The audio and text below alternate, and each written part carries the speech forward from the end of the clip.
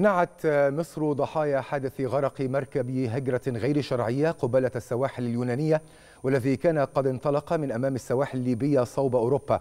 وعلى متنه المئات من المهاجرين غير الشرعيين من جنسيات مختلفة من بينهم مصريون. وأوضحت وزارة الخارجية أن سفارة مصر في أثينا تتابع مع السلطات اليونانية المعنية على مدار الساعة عمليات البحث عن المفقودين وانتشال جثامين الضحايا للتأكد من هوية وأعداد الضحايا من المصريين. كما تتابع وضع الناجين مما تم التعرف على هويتهم لتقديم الخدمات اللازمة لهم. هذا وأضافت وزارة الخارجية أن مصر تؤكد مجددا إدانتها بأشد العبارات استمرار قيام العصابات المنظمة لجرائم الهجرة غير الشرعية باستغلال حاجة البعض ممن يبحثون عن فرص أفضل للحياة والعمل.